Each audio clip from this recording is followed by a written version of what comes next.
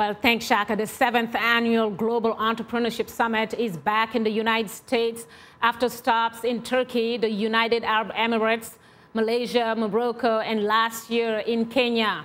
U.S. President Barack Obama is hosting the event in Silicon Valley, and the aim is to showcase entrepreneurs and investors from here and around the world, creating new opportunities for investment, partnership, and highlight entrepreneurship as a mean to address some of the most intractable global challenges. Well, this leads us to our question of the week, which asks, entrepreneurship is driving innovation across Africa, and how much of an impact do you think that African entrepreneurs are having on the continent? Well, before we begin, uh, I'd like to thank you all for using uh, our social media platform to communicate to us Another reminder that we are tweeting live today. Just use the hashtag VOA African Entrepreneurs. And if you haven't yet, uh, do follow us. Uh, speaking of Twitter, let's go to a tweet uh, from Martin uh, Nyalusi in Tanzania, who tweets that they face capital problems, good markets, and good policies from the governments, which will reflect on them.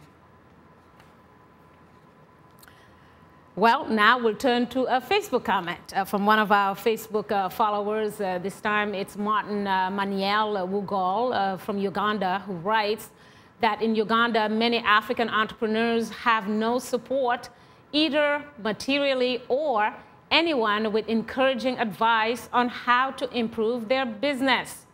Well, these are uh, great questions out there. Um, Shaka and Guess, your take. Very interesting. Mr. Bello, yes. your reaction? Well, um, the question, you know, really, really, uh, you know, says it all in terms of the amount of impact uh, that um, that African entrepreneurs have been able to, you know, give to the continent. Um, definitely, you know, of course, it's been able to create jobs, you know, for uh, you know Africans. Um, you know, but it's something that actually uh, stands out for me more.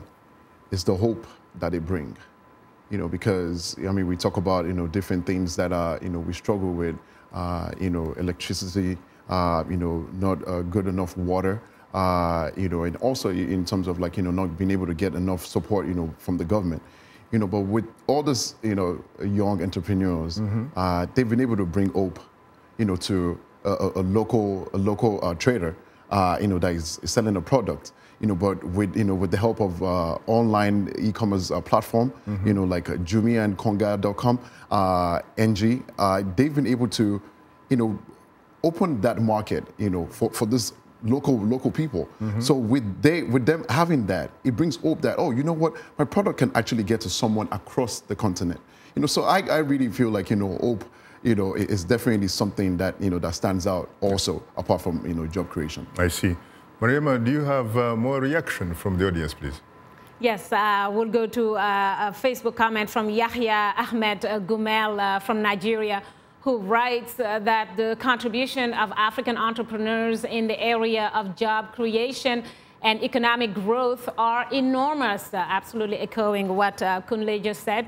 But however, he continues, um, he says that a lack of sufficient government intervention and support is becoming a major, major stumbling block undermining African entrepreneurship. It is imperative that African governments prioritize and inject huge amounts of capital into entrepreneurship because it's vital to economic growth and development. Great points uh, made uh, by Yahya, guest, and Shaka. Again, uh, your take. Paul, your reaction. Uh, I could not agree with uh, Yahya uh, more uh, because uh, I think the governments have the moral responsibility really to uh, to build an enabling environment for entrepreneurship to thrive, for these young innovators to put out ideas that are going to be sold on the global market. What's happening is that, of, of course, governments are also trying to be wary of what the social media or what the internet can do. Uh, in some cases, uh, governments are highly restrictive when it comes to how people use the social media. And I think, personally, I think that's uh, going to uh, impede the development of uh, entrepreneurship on the continent. I think uh, this is a platform that allows people really to express themselves.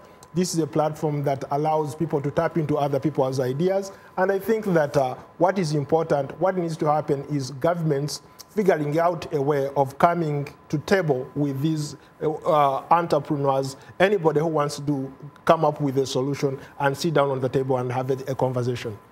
Very interesting. Uh, well, thank you very much, Mariama, for bringing us this week's audience reaction. Well, uh, thanks, Shaka. And that will do it uh, for today's uh, social media segment.